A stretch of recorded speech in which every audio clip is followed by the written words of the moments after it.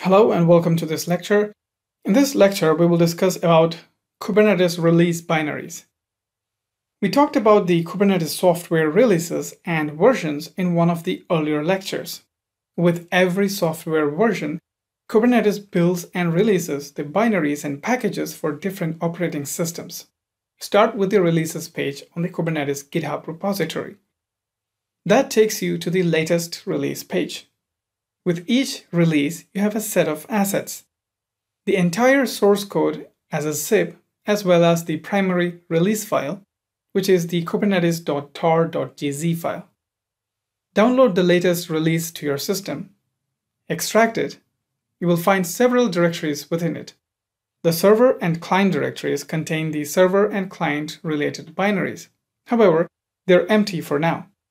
You must run a script that will download the appropriate binaries for your operating system.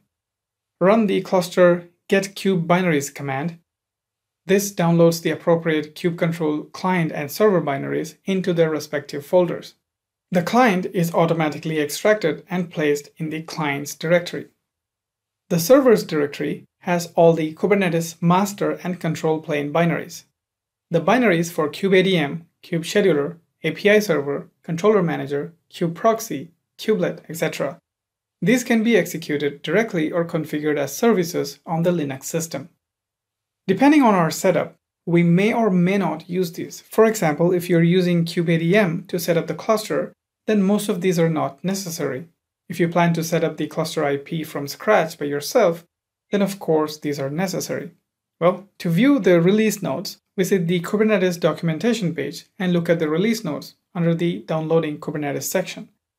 This page also provides direct links to download binaries, as well as a section for external dependencies, such as the etcd server or CoreDNS server.